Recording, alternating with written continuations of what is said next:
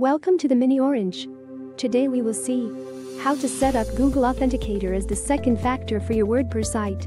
Let's search for the Google Authenticator plugin. Click on the Install Now button. Activate the miniOrange Google Authenticator plugin. You are prompted with 2FA Setup Wizard. It will help you configure two-factor authentication in no time.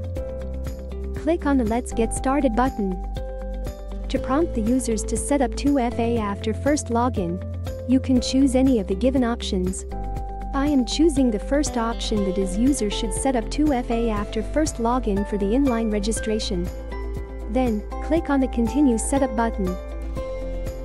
You are prompted to choose user roles. You can choose any user roles from the given options. I am choosing the first option of all users. Then, click on the Continue Setup button. You are prompted to choose grace period for your users. You can choose any of the following options to decide how long the grace period should be for your users. I am choosing the second option. Next, you can give users time period to configure 2FA to avoid lockout. You can increase or decrease the number of hours or days. As you can see, I have given the users 2 hours. Then, click on the All Done button. With this you are done with the inline registration setup for your users. You have successfully configured the 2FA registration policy for your users. After this, now you can configure two-factor authentication for yourself. Click on the Configure 2FA for yourself button. You are prompted with the two-factor setup.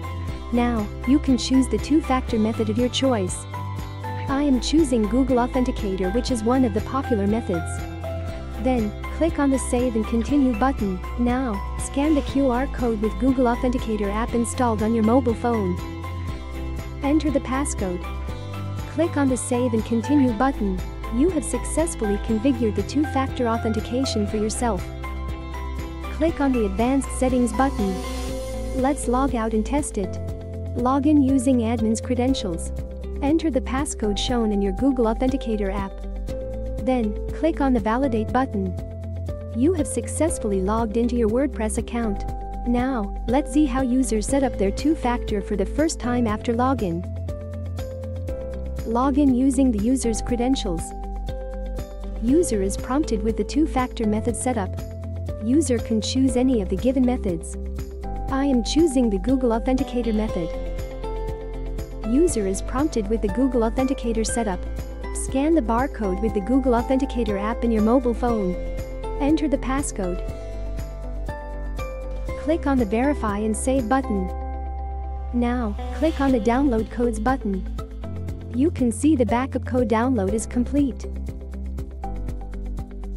You are provided with these 5 backup codes that you can use when you are logged out of your account.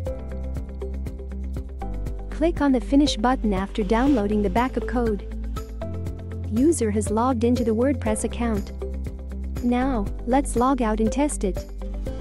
Log in using the user's credentials. Enter the passcode shown in your Google Authenticator app.